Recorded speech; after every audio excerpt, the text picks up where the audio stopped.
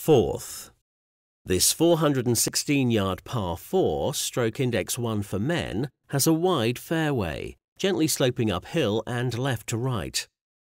Long drives will make the part of the fairway that levels out in order to see the bottom of the flag for your second shot. Trouble left all the way for the second half of the hole.